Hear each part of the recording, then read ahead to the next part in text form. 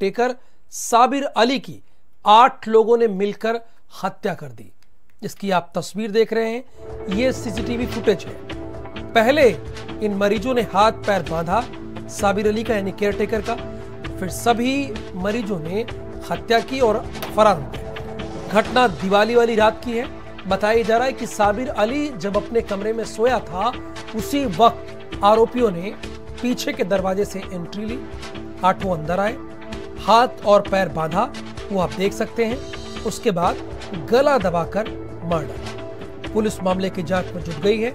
इसके अलावा सभी आरोपी जिनका इलाज चल रहा था, उनकी तलाश के लिए पुलिस ने टीम गठित कर दी है। और अभी तक का जो अपडेट है, यानी 10 बजे तक का जो अपडेट है गाजियाबाद पुलिस के द्वारा, अभी तक इनके बारे में कोई सुराग नहीं है। इन सभी के घर के बाहर एक एक पुलिस तैनात कर दी गई है। लेकिन अभी तक कोई इन्फॉर्मेशन नहीं है। पेशेंट है पैंतीस चौंतीस के करीब। तो उनमें से आठ पेशेंट रात ये गेट खुला है पीछे गेट में से अंदर आके जो हमारे केयर टेकर हैं काउंसलर हैं आके उनके हाथ पैर बाँध के उनका मर्डर करके यहाँ से पीछे आप देख रहे हो ये गेट है इसमें से यहाँ से भाग गए इस सूचना पे केस रजिस्टर किया जा रहा है साहिबाबाद थाने में और हमारी दो टीमें गठित हो गई हैं। जल्द उनको अरेस्ट कर लेंगे और जो लीगल एक्शन है वो लिया जा रहा है बॉडी पोस्टमार्टम के लिए भिजवा दी गई। मथुरा के गोविंद नगर इलाके में इक्यावन फीट का गिरिराज पर्वत बनाया गया। इस पर्वत को अलग अलग कलरों से सजाया गया।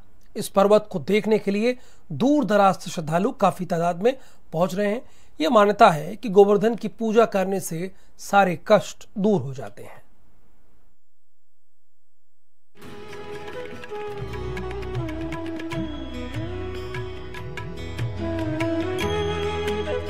दिवाली के अगले दिन गोवर्धन पूजा होती है, लेकिन गोवर्धन पर्वत एक श्राप झेल रहा है। इसके बारे में आगे बताएँगे, लेकिन पहले बुलंदशहर में गोवर्धन पूजा की आई तस्वीरें देखी। लोग उत्साह और धूमधाम से पूजा कर रहे हैं।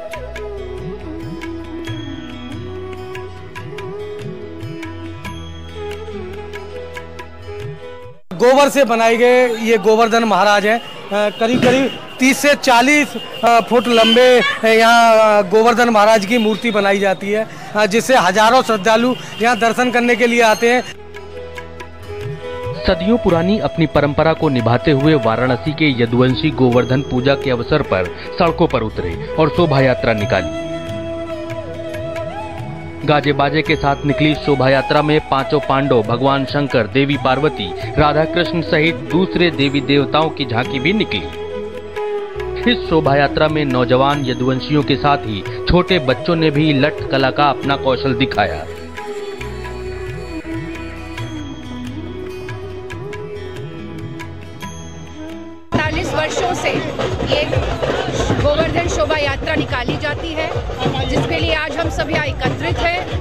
गोवर्धन वो पर्वत है जिसको उंगली पर उठाकर भगवान कृष्ण ने इंद्र के प्रकोप से गोकुल के लोगों को बचाया था।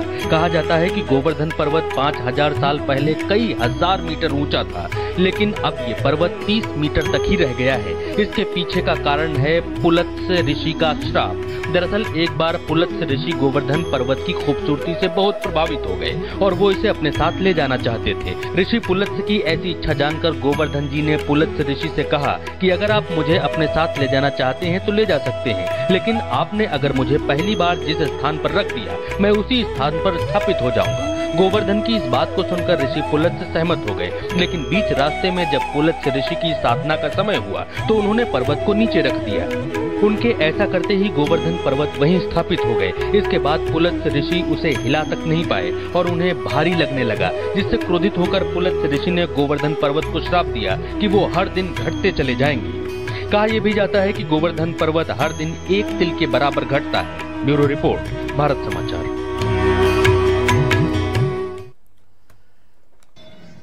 तो मथुरा के गोविंद नगर इलाके में इक्यावन फीट का गिरिराज पर्वत बनाया गया, जिसे आप देख भी रहे हैं। इस पर्वत को अलग अलग रंगों से सजाया गया। इस पर्वत को देखने के लिए दूर दराज से श्रद्धालु काफ़ी तादाद में पहुँच भी रहे हैं।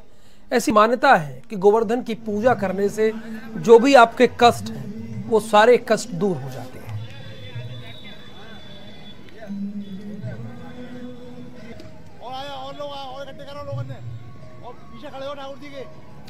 गोवर्धन की पूजा की आज धूम देखने को मिली। इक्यावन फीट लंबी गोवर्धन की प्रतिमा बनाई गई। इसकी तस्वीरें आप लगातार देख रहे हैं। इक्यावन फिट का ये गिरिराज पर्वत है। और ये गोवर्धन पूजा आखिरकार कैसे मनाया जाता है, ये निश्चित तौर पर आप लोगों के मन में सवाल कौनता होगा, या आप लोग जान भी रहे हैं भगवान श्री कृष्ण ने गोवर्धन वासियों को इंद्रदेव के प्रकोप से बचाया था और जिस पर्वत को उठाया था, वो गिरिराज पर्वत था। और देखिए, उसी की प्रतिमा बनाई गई, इक्यावन फिट लंबी। आगे बढ़ेंगे, वाराणसी आपको लिए चलेंगे।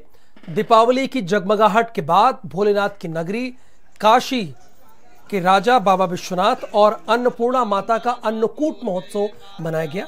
महोत्सव पर भक्तों की भारी भीड़ देखने को मिली। काशी में भगवान शिव और माँ अन्नपूर्णा को छप्पन भोग लगाया गया। पुराणों की माने तो आज के ही दिन भगवान शिव ने माँ अन्नपूर्णा से अपने भक्तों के लिए दीक्षा मांगी थी और माता अन्नपूर्णा ने भगवान शिव को छप्पन व्यंजनों का प्रसाद दिया था। उसी समय से दीपावली के दूसरे दिन वाराणसी के काशी विश्वनाथ मंदिर और अन्नपूर्णा मंदिर में इस उत्सव को धूमधाम से मनाया जाता है।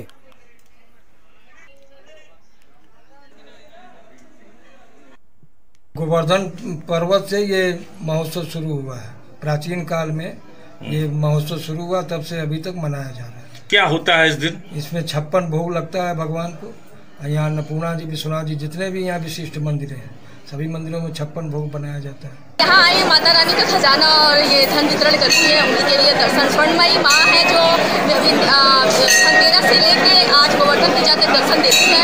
उनके लिए मैं दर्शन करने आई उत्तर प्रदेश के बुंदेलखंड इलाके में दीपावली का त्योहार काफ़ी रोमांचक होता है। यहाँ परंपरागत दीवारी नृत्य की धूम मची रहती है, जिसमें ढोलक की थाप पर थिरकते जिस्म के साथ लाठियों का अचूक वार करते हुए युद्ध कला को दर्शाने वाले नृत्य को देखकर लोग दांतों तले उंगलियाँ दबाने पर मजबूर हो जाते हैं। ये धनतेरस से लेकर भैया दूज तक गाँव गाँव घूमते हैं। वीर रस से भरे इस नृत्य को देखकर बच्चों से लेकर बुज़ुर्ग तक थिरकने पर मजबूर हो जाते हैं। ये नृत्य भगवान श्री कृष्ण के समय की कला है।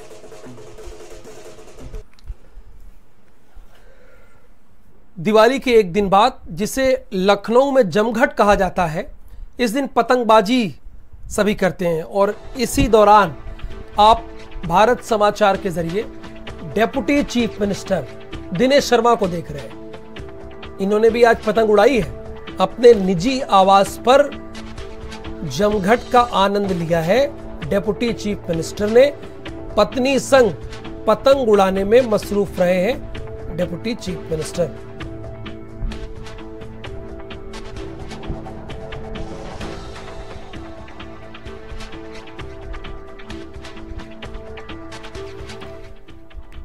जनसंख्या नियंत्रण कानून पर प्रदेश के अल्पसंख्यक कल्याण राज्य मंत्री मोहसिन रजा ने क्या कुछ कहा? कैसा ज्ञान दिया वो आपको सुनाते हैं। संसाधन जितने समाज के लिए है, उससे ज़्यादा अगर संख्या हो रही है तो कहाँ से लाएँगे? वो समाज का ही तो पार्ट होती है, सरकार भी कोई, समाज से अलग सरकार तो बनती नहीं, समाज के ही लोग सरकार बनाते हैं। तो इस तरह की जो लोग टिप्पणी करते हैं, मौलाना लोग करते हैं तो उन्हें सोचना चाहिए कि आप दीन और दुनिया दोनों को लेकर साथ में चलेंगे। जब दो बच्चे होंगे, हमारे दो, कम छोटा परिवार होगा तो संपन्न परिवार होगा। धर्मनगरी चित्रकूट में दीपावली के एक दिन बाद की रस्म है गधा मेला की। समझ रहे हैं ना आप? गधे मेले की रस्म। है इस मेले में गधों की बोली लगती है। मेले में भारी संख्या में गधों की खरीद फरोख्त होती है। यानी बेचे जाते हैं और खरीदे जाते हैं। धर्म नगरी में गधों का गजब मेला। गधों की लाखों की लगती है बोली। दूर दराज से आते हैं गधा व्यापारी। धर्मनगरी चित्रकूट में हज़ारों की संख्या में गधों और खच्चरों का ऐतिहासिक मेला लगा है। इस रस्म की शुरुआत मुगल शासक औरंगज़ेब ने की थी। औरंगज़ेब चित्रकूट के इसी मेले से अपनी सेना के बेड़े में गधों और खच्चरों को शामिल किया करता था। दीपावली का पर्व शुभ है, धन खरीदने के लिए तो ये अपने जानवरों को धन कहते हैं। हम लोग अपनी आम आम भाषा में गधा खच्चर घोड़ी, घोड़ा कहते हैं, ये लोग धन कहते हैं, क्योंकि इसी की कमाई खाते हैं, इसलिए ये इसी पर्व पे लेना अपना मानते हैं। दूर दूर के लोग आते हैं, और इनका जैसे नस्ल के हिसाब से कीमत होती है। बीस हज़ार से लगा करके दस हज़ार, पाँच हज़ार, तीस हज़ार, साठ हज़ार, सत्तर हज़ार तक की अच्छी नस्ल की जो है घोड़ी जाती है। व्यापारियों की माने तो दीपावली के मौके पर लगने वाले गधा मेले में गधों की अच्छी खासी कीमत लगती है। गधा व्यापारी यहाँ दूर दूर से आते हैं। व्यापारियों का मानना है कि आज के दिन ही क्रय विक्रय करने से लक्ष्मी आती हैं। गधे मेले में पचास हज़ार से दो लाख रुपए तक के गधे बेचे और खरीदे जाते हैं। चल रही कुछ भट्टों की समस्या है समझे? नहीं चल पा रहे। वो कुछ मशीनों की वजह से। अब जब काम ही कम काम ही नहीं रहेगा उनका तो मद्दी तो चलेगी। यहाँ मेला लगता है मेले में हम लोग आते हैं जानवर खरीद के लाते हैं फिर बेचते हैं। तो क्या मानते हैं आप लोग कि ये मेला में मतलब ये लक्ष्मी का वास रहता है लक्ष्मी का दिन पड़ता है तो दीपावली के दिन मेला लगता है इसलिए मेला धार्मिक नगरी चित्रकूट के रामघाट पर मंदाकिनी नदी के किनारे कई प्रदेशों से व्यापारी गधे लेकर बेचने आते हैं। इस मेले की सुरक्षा व्यवस्था की ज़िम्मेदारी प्रशासन की होती है। विनोद कुमार, चित्रकूट, भारत समाचार।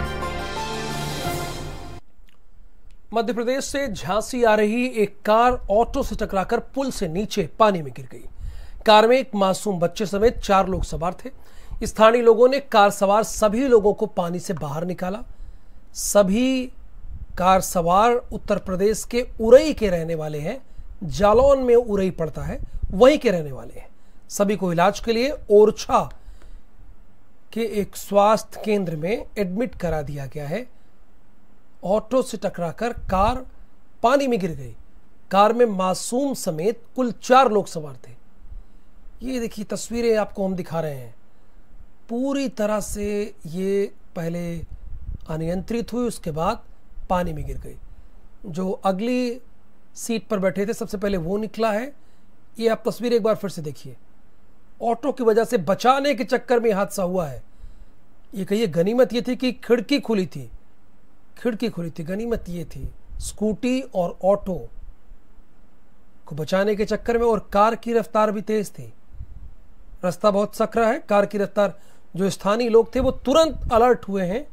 ये भी गनीमत रही, लेकिन ऑटो वाला सो वो भाग खड़ा हुआ। आप देखिए, उस ऑटो में क्षमता से ज़्यादा लोग सवार थे और रुकने के बजाय ऑटो वहाँ से तुरंत निकल गई।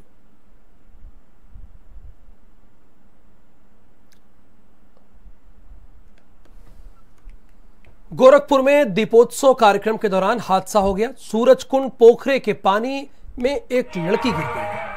एसडीआरएफ और पुलिस ने लड़की को बचा लिया। तिवारीपुर के सूरजकुंड धाम का ये मामला है।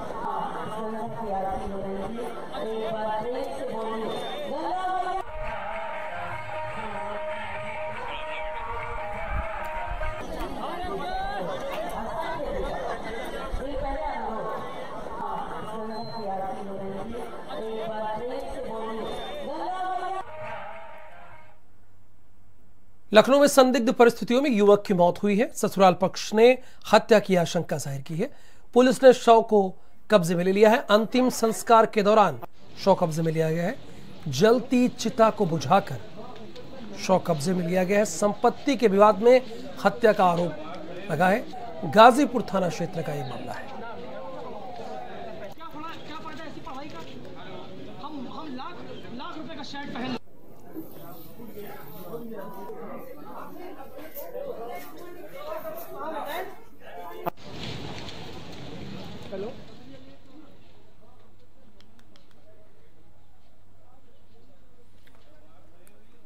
कन्नौज में बेखौफ बदमाशों ने एक ढाबा मालिक की गोली मारकर हत्या कर दी। बदमाशों ने ढाबे में घुसकर गोली मारकर ढाबा मालिक को मौत के घाट उतार दिया। वारदात को अंजाम देकर बदमाश फरार हो गए। सूचना पर पहुँची पुलिस ने। शव को कब्जे में लेकर फॉरेंसिक टीम से जाँच शुरू करा दी है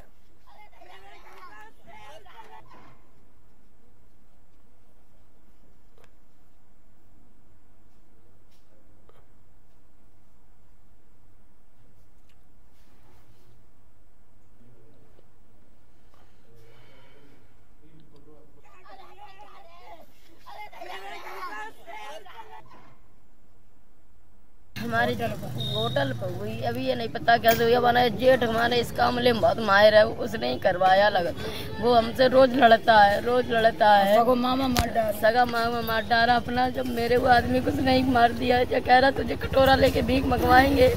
बोलने मंगवा दी हमसे। सुबह करीब साढ़े छः बजे वहाँ जो नौकर था उसने उनकी डेड बॉडी को देखा है। यहाँ बॉडी पोस्टमार्टम के लिए अब पंचायतनामा भर के भेजी जा रही है। जब पोस्टमार्टम रिपोर्ट आएगी तो और भी जानकारी हो जाएगी कि मृत्यु का कारण क्या है। और अभी फ़िलहाल एक तहरीर प्राप्त हुई है और उसके आधार पे अभियोग पंजीकृत करके विवेचना की जा रही है। यूपी के कौशाम्बी ज़िले में Bank of Baroda ATM box के चोरी होने के मामले में डीआईजी केपी सिंह ने मौके का निरीक्षण किया। इसके बाद एटीएम बॉक्स जहाँ फेंका गया था, उससे घटना स्थल पर वहाँ पर पहुँचे। और जाँच किया। इसके बाद डीआईजी कोतवाली पहुँचे। वहाँ पर बंद कमरे में एसपी समेत ज़िले के पुलिस कर्मियों के साथ बातचीत की। एसपी को निर्देश दिया कि वारदात का जल्द खुलासा करें।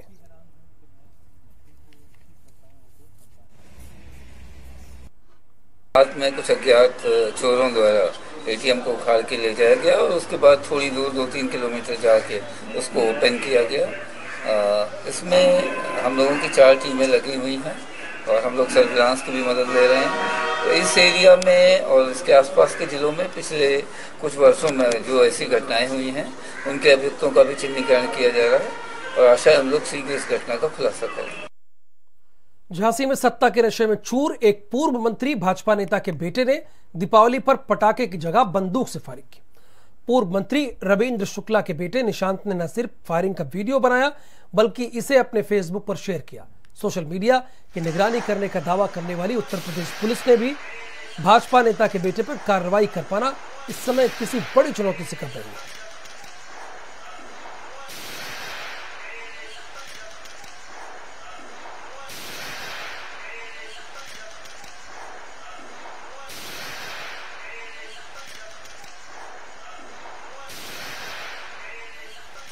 हापुड़ के थाना धौलाना क्षेत्र के गाँव निधावली में एक दुकान का पुराना लेंटर तोड़ते वक्त बड़ा हादसा हो गया।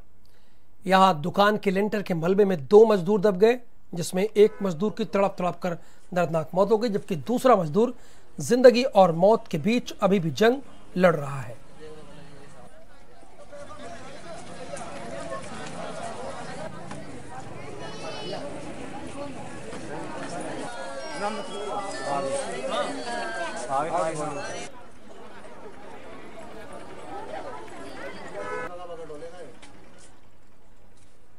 शामली के कैराना में छात्रा से छेड़छाड़ के मामले में चाकूबाजी में घायल भाई की दिल्ली में मौत हो गई है।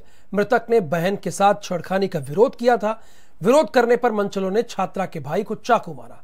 सफदरजंग अस्पताल में छात्रा के भाई की मौत हो गई। युवक की मौत से परिजनों में कोहराम मचा है लेकिन अब तक पुलिस के हाथ इस मामले में खाली हैं।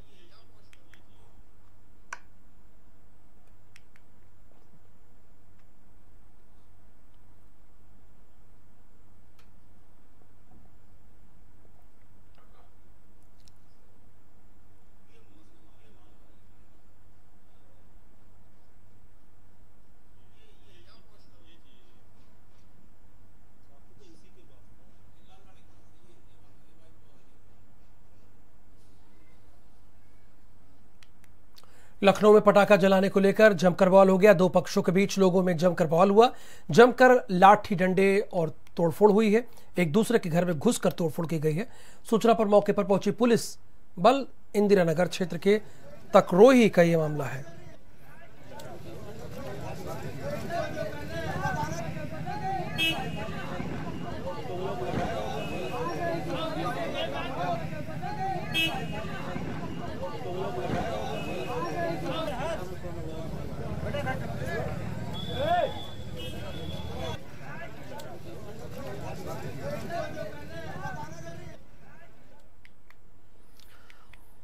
कुलदीप सेंगर के छोटे भाई मनोज सेंगर का उन्नाव में अंतिम संस्कार किया गया कुलदीप सेंगर ने के भाई अतुल सेंगर ने मनोज सेंगर को मुखाग्नि दी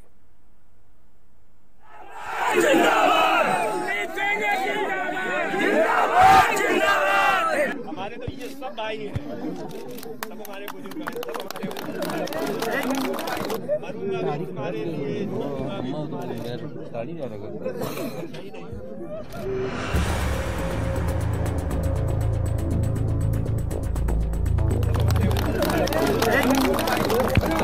तालियों से गूंजता ये माहौल माखी के विधायक कुलदीप सिंह सेंगर के छोटे भाई मनोज सेंगर की अंतिम यात्रा का है। जिंदाबाद के ये नारे कुलदीप सेंगर के पैरोल पर जेल से बाहर आने की खुशी में है।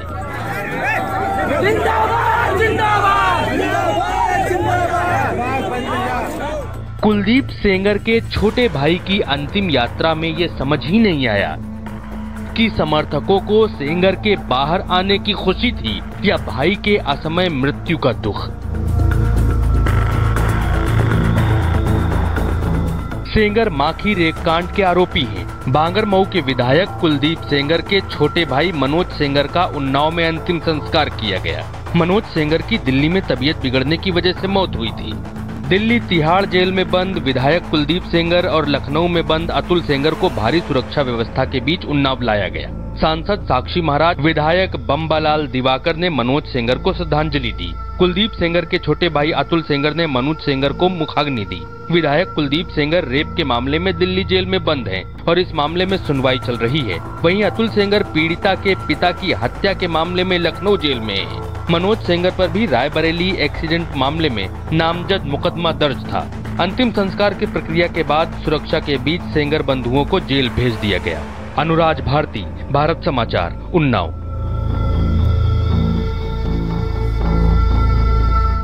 इस बीच खबर एक बड़ी आ गई है, जौनपुर क्राइम ब्रांच की टीम पर हमला हो गया है। वाराणसी में जौनपुर क्राइम ब्रांच की टीम पर हमला हुआ है। क्राइम ब्रांच की टीम को बंधक बनाया गया है, टीम को बंधक बनाकर ग्रामीणों ने पीटा है। टीम को छुड़ाने गई, पुलिस पर भी हमला हुआ है। ये रोहनिया पुलिस टीम पर हमला किया गया है। रोहित सिंह के पास इस बारे में पूरी जानकारी है और वो आप सभी दर्शकों को जानकारी देने के लिए हमारे साथ फ़ोन लाइन पर जुड़ गए हैं। रोहित बताइए पूरी जानकारी दीजिए दर्शकों को। देखिए दरअसल जौनपुर क्राइम ब्रांच की टीम आई थी। जौनपुर ज़िले के एक अपराधी को यहाँ रोहनिया थाना स्थित हरसोस गाँव में छुपे होने okay. की आशंका थी। उसी संदर्भ में आई थी क्योंकि क्राइम ब्रांच की टीम जब चलती है तो वो सादी वर्दी में चलती है और उसकी गाड़ियों पे पुलिस पुलिस का सिंबल वगैरह कुछ इस तरीके का निशान नहीं रहता है, है? उसी तरीके से जब गाँव में पहुँची और एक घर में पहुँची तो लोगों ने अपहरणकर्ता समझ लिया क्योंकि जिस अपराधी को ये दबोचने पहुँचे थे उस पहुँच चुके थे।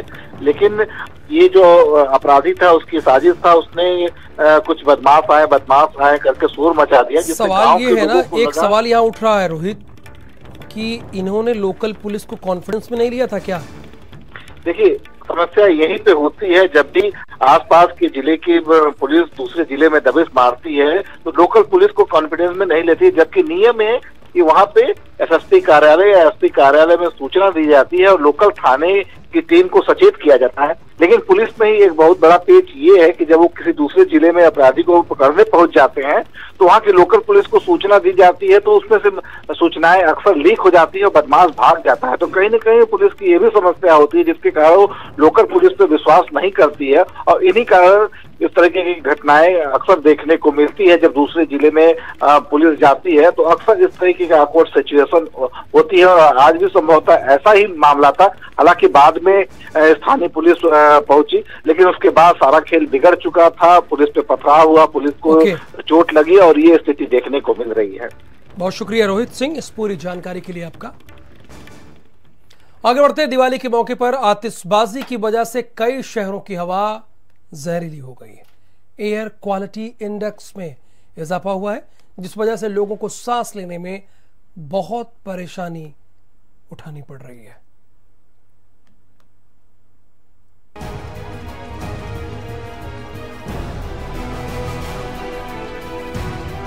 सुप्रीम कोर्ट द्वारा तय की गई समय सीमा, यानी कि शाम आठ बजे से रात दस बजे तक के बाद भी देर रात तक फोड़े गए पटाखों ने दिल्ली के साथ एनसीआर के शहरों, यानी कि गुरुग्राम, फरीदाबाद, नोएडा और गाजियाबाद के प्रदूषण में भी भारी इजाफा किया है। दिल्ली के लोधी रोड इलाके में तो वायु गुणवत्ता का स्तर 500 को भी पार कर गया, जिसे बेहद खतरनाक श्रेणी में माना जाता है। लखनऊ, हापुड़, कानपुर के साथ साथ यूपी के भी कई जिलों में सांस लेने में लोगों को मुश्किलों का सामना करना पड़ा। दिक्कत सांस लेने में हो रही है चलने में हो रही है। सांस फूल रही है आज कि वैसे नहीं फूलती थी कि डेली रूटीन में। नहीं पॉल्यूशन तो बढ़ा ही है। पटाखे इतने फूटेंगे तो पटाखे पॉल्यूशन तो आएगा ही आएगा। ये यहाँ पे तो चलो तब भी थोड़ी हरियाली है तो नहीं पता लगता लेकिन और जगह तो सड़कों पे तो कितने पता लग रहा है अपने। वहीं दिल्ली में भी प्रदूषण से बुरा हाल है। देर रात तक हुई आतिशबाजी की वजह से हवा जहरीली हो चुकी है और दिल्ली के कई इलाकों में एयर क्वालिटी इंडेक्स 900 के पार दर्ज हुआ। दिल्ली में पटाखे छुड़ाने के लिए दिवाली में सुप्रीम कोर्ट की तरफ़ से दो घंटे का समय दिया गया था, जिसकी अवहेलना दिल्ली वालों ने जमकर की। मालवीय नगर, लाजपत नगर, कैलाश हिल्स, बुराड़ी, जंगपुरा, शारदा लक्ष्मी नगर मयूर विहार, सरिता विहार में लोगों ने तय दो घंटे के समय से ज़्यादा जो है वो पटाखे छुड़ाए हैं और ग्रीन पटाखों के अलावा नॉर्मल पटाखे भी छुड़ाएँ सुप्रीम कोर्ट से सिर्फ़ ग्रीन पटाखे छुड़ाने की ही इजाज़त थी। उसके अलावा लोगों ने नॉर्मल पटाखे जो हैं वो भी जम के छुड़ाएँ जिसका असर आज सुबह देखने को मिला और दिल्ली में प्रदूषण का स्तर बेहद गंभीर स्थिति में बना हुआ है। कई लोगों को सांस लेने में प्रॉब्लम की भी ए, सामना करना पड़ा। उसके अलावा खांसी और आँखों में जलन जो है वो दिल्ली में इस वक्त लोगों को देखी जा रही है। अब देखना यह है कि प्रदूषण जो है वो बेहद गंभीर स्थिति में पहुँच चुका है और दिल्ली वालों को कब इससे राहत मिलेगी। बताया जा रहा है कि पटाखे फोड़े जाने के चलते वातावरण में जहरीला धुआँ और राख भर गया है। अगले 24 से 48 घंटों तक इसका असर भी रहेगा। ब्यूरो रिपोर्ट भारत समाचार। प्रवासी महासंघ ने छठ पूजा की तैयारियाँ शुरू कर दी। है तीस अक्टूबर से शुरू होने जा रहे महोत्सव में मैथिली ठाकुर और भोजपुरी सिनेमा जगत के अरविंद, अकेला, कालू गीतों से लोगों का मनोरंजन करेंगे। 30 अक्टूबर को रंगारंग कार्यक्रम होंगे तो दो और तीन नवंबर को सूर्य को अर्घ देने के लिए या तीस हज़ार लोगों के लिए महाकुंड भी तैयार किया जा रहा है।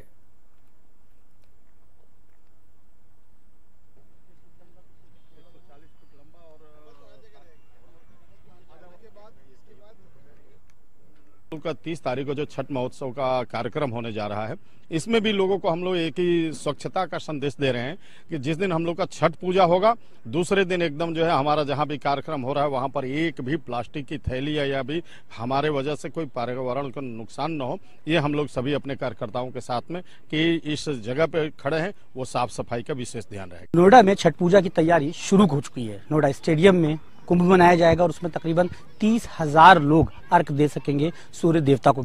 इस वक्त हम नोएडा स्टेडियम में ही खड़े हुए हैं। आप देख सकते हैं, तैयारियाँ चल रही हैं, जो पुलिस महकमे के अफसरान हैं, वो भी यहाँ पर पहुँचे हुए हैं। जो प्रवासी महासंघ है, उनके पदाधिकारियों के साथ मीटिंग कर रहे हैं। किस तरीके का इंतज़ाम रहेगा? 30 अक्टूबर को कार्यक्रम शुरू होगा और दो और तीन तारीख को सूर्य जो सूर्य देवता है, उनको अर्क दिया जाएगा। तैयारियाँ काफ़ी ज़्यादा मज़बूत करी गई हैं। फ़िलहाल दीपावली के बाद अब तैयारी शुरू हुई है छठ पूजा की। अब लोगों को इंतज़ार है कि जल्द से जल्द छठ पूजा आए और जो अपने पूर्वजों से वो, पूर्वजों के लिए जो मानता है उनकी और जिस तरीके से वो पूजा पाठ करते हैं, उसको वो पूरा करें। कैमरा पर्सन साजिद के साथ दानिश भारत समाचार, नोएडा। लखनऊ में कबाड़ के गोदाम में भीषण आग लग गई है। पुलिस प्रशासन राहत बचाव कार्य कर रही है। फायर ब्रिगेड ने आग पर काबू पाया है। कई घंटों से गायब रही है बिजली।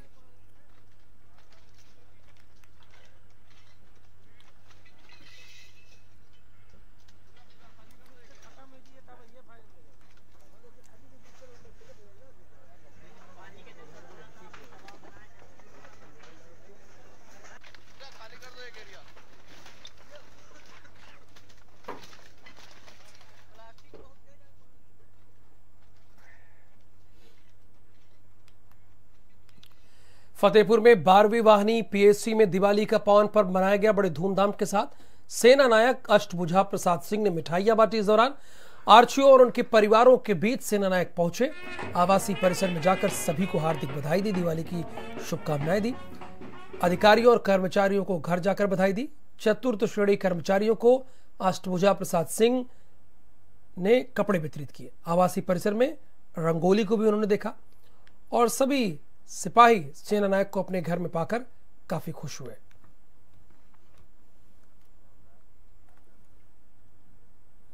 और इस खबर के साथ इस बुलेटिन में फ़िलहाल इतना ही। आप बने रहिए भारत समाचार के साथ।